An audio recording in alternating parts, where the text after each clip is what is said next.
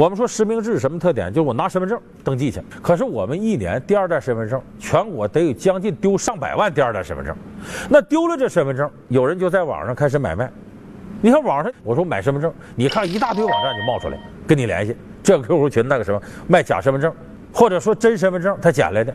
那么如果你运营部门、电信部门把关不严啊，你这个拿着的这个别人丢的身份证也能注册手机，拿假身份证也能注册手机，那么你这个实名制就形同虚设了。犯罪分子总会想出各种各样的办法，利用身份证做文章的，这是第一个。第二个一个特点呢是呢，就是你如果到电信部门呢，通过身份证，你既然能实名制登记，也能去补办，说丢了我可以补，也凭身份证，这容易形成新的骗局。什么新的骗局呢？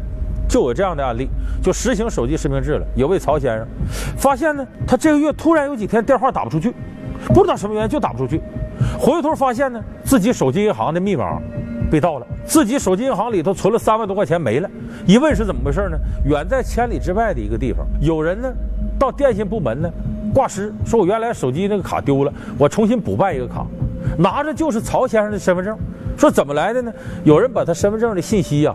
啊你像这个身份证里具体信息啊，手机这个号什么之类的，这个信息泄露了，卖给犯罪团伙了。犯罪团伙拿这个呢办了张假身份证，这假身份证上照片呢是犯罪分子本人，但是其他信息都是曹先生的。到了营业厅说：“我那丢了，给我补办。”这有时候一天呢，这个营业厅大概得有上百个补办的。他也来不及核实，或者有偏远地区的那个营业厅也不负责任，就给他补办了。补办了这个手机号之后呢，呃，他就有你看，补补办了说，我那手机丢了，我得改我这个手机银行的密码，就给重新设置个密码。那重新设置密码还是你原来那手机，那还不把你钱都弄走的？所以这和以前不一样。以前没有实行实名制的时候，你必须得拿着手机卡的服务密码，你才能去补办。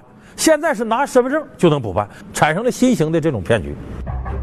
今年四月，湖南省宁乡的周小姐银行卡被人转走九万四千元，但银行卡和密码却全部都还在周小姐自己身上。原来，在四月十五号下午，周小姐手机突然接到几条疑似诈骗短信，要周小姐登录手机网站收取汇款。不过，手机登录后突然无法接听电话。之后，周小姐立即通过网络查询自己的银行账户。发现自己的银行卡分三十一次被人取走了九万四千元，是通过我的手机卡，全部都在网上操操作的，没有泄露，连我家人都不知道的。卡上面的信息他也知道，啊，你就就连你可能在哪里，他可能都知道。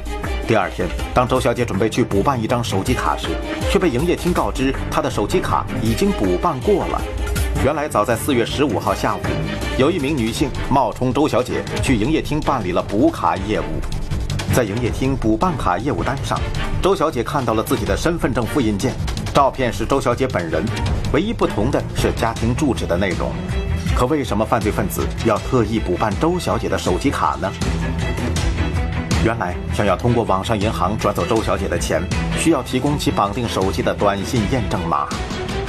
所以这个漏洞你怎么补？现在的电信部门必须得考虑到，就是不是仅仅通过一张身份证就解决这些问题？这显得漏洞太大，系统风险性太高。这是第二个，第三个，你现在完全实名制以后，个人信息一定很详实。就像什么呢？比方你买房子留下个手机号，回头天天的卖房子给你打电话，为啥？买房子的部门、房地产公司把你这个信息给给卖了。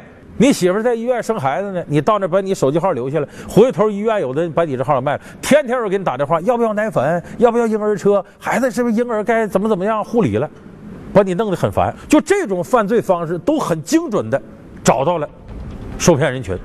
他通过什么呢？通过极为准确的登记和个人信息，所以就说你现在如果手机实名制执行了，这个人信息登记的必然比以前更详实、更准确。就说如果我们现在相关的管理部门把不住这关的话，那反而使个人隐私会在很大程度上被暴露，个人信息被别人买去之后，犯罪分子反而实施犯罪手段就会更加容易、更加精准。所以我刚才说这几点，那么我相信大多数人出于安全诚信角度考虑，会衷心的拥护手机实名制的推行。所以要先把该做的功课做好，然后再强有力的推行，这样才能够更好的服众，让大家更加信任。